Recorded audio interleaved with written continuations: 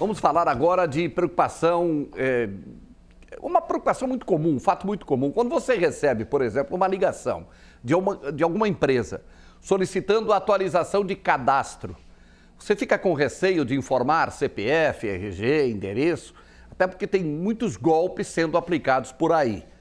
Quanto ao cadastro, no próprio estabelecimento comercial, a dúvida é em relação ao uso desses dados por parte da empresa.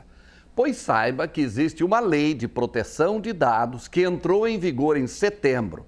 Nós vamos acompanhar uma reportagem com mais detalhes sobre esse assunto agora. Você sabe onde vão parar seus dados pessoais quando você preenche um cadastro?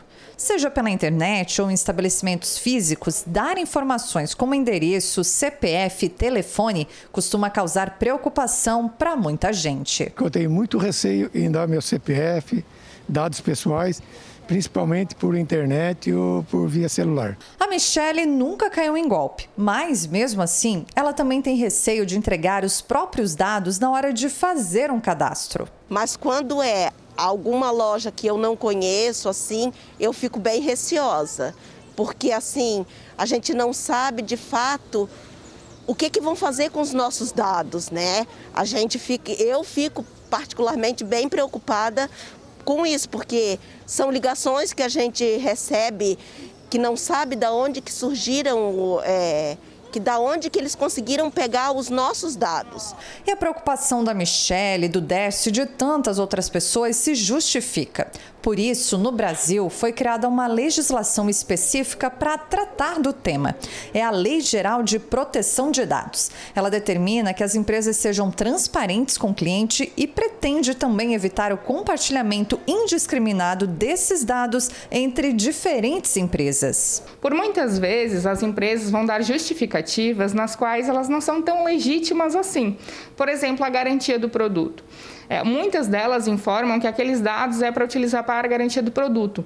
Mas na mesma situação que ocorre é que elas acabam enviando marketing direcionado, elas acabam é, enviando informações, por exemplo, parabenizando sobre, sobre o seu aniversário. Então, essas, é, é o que ocorre nessas situações é um desvio de finalidade. E esse desvio de finalidade ele pode ser penalizado segundo a legislação de proteção de dados. A lei determina de que maneira as empresas podem coletar e tratar os dados das pessoas. Por isso, desde o menor negócio, aquele restaurante ali da esquina, até a maior organização empresarial, precisam estar atentos à nova legislação. O primordial, o principal, Carol, é a gente é, trabalhar com transparência. Então, se eu informo para esse titular como que esse dado está sendo tratado, desde a coleta até a sua eliminação, ele precisa ter essa informação. Porque nós, enquanto titulares, nós, pessoas físicas, somos os donos dessa informação.